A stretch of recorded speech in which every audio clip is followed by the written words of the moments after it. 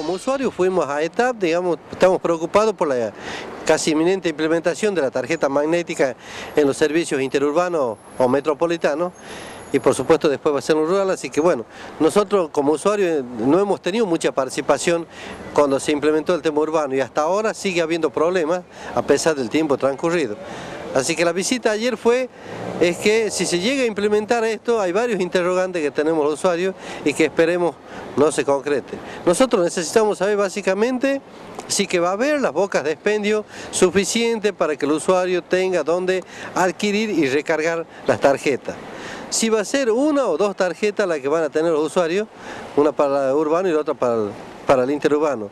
Si va a implementar, si va a implicar o no un costo mayor al usuario como ha ocurrido en la anterior si además de eso va a existir el saldo negativo o no, y si además de una vez por todas las empresas se ponen de acuerdo, porque bueno, algunos de acuerdo al criterio del chofer, algunos le aceptan saldo negativo y otros no, así que en definitiva son muchos los interrogantes que entre los que podemos incluir el abono social también, que algunas empresas lo aplican, otras no, que una vez que se pongan de acuerdo, nosotros como usuarios vamos a aceptar la implementación porque para nada estamos en contra de un avance, bueno, tecnológico, lo que sea. Pero bueno, tampoco, digamos, eh, el hilo se va a cortar por lo más delgado, tampoco, digamos, el usuario va a pagar, eh, digamos, los costos de algunos desentendimientos de ellos. Por eso es que en el día de ayer también hemos sugerido de que lo haga, lo incluyan al usuario en las mesas de conversaciones que tienen.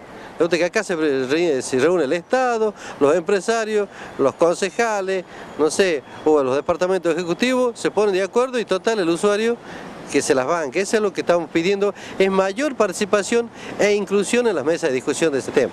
Bueno, ¿qué respuesta ha dado parte del sector empresario justamente a todas estas problemáticas que han planteado? Por ahora ellos nos han dicho de que primero el tema del abono social está, que segundo que van a garantizar las bocas de expendio suficientes como para que en toda la provincia haya, que la idea de ello es que se implemente una sola tarjeta para ambos servicios para facilitarle al usuario y que no va a implicar un costo alguno, digamos, eh, para el usuario.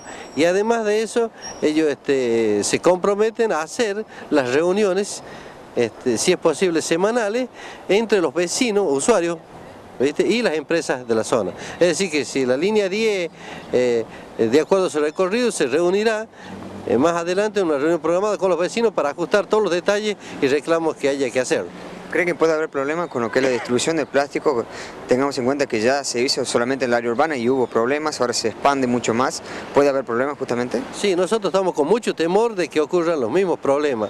Y mire, le digo una cosa, este, la verdad estábamos más tranquilos antes cuando se pagaba con el, con el COSPEL. La verdad que tenemos mucho temor si ahora no han podido solucionar con el plástico el tema del conglomerado urbano, imagínense cuando sea el área metropolitana va a ser mucho más complicado.